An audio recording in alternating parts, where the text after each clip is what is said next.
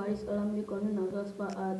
I am the youngest hyperrealism artist in Nigeria and Africa. I am Global Child Prodigy Awards winner in art category. I hope everyone is safe during this COVID-19 outbreak. I wish everyone will get fine soon and things will be back on track. Here is a piece of artwork I am working on during this home lockdown.